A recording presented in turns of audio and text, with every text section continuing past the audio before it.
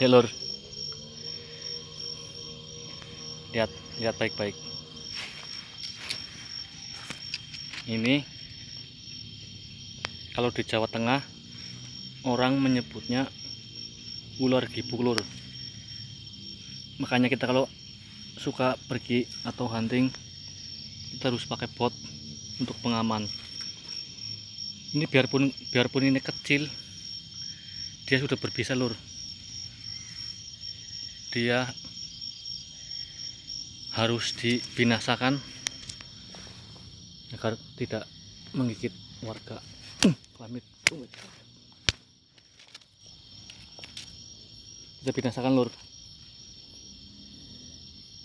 Bagaimanapun ini penyakit dan harus kita binasakan. Oke? Terima kasih